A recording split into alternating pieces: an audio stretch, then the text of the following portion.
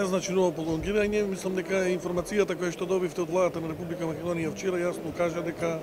и тоа и го информирав јас на самата седница дека пуштањето во употреба на автопатот Емир Капија Смоквица ќе биде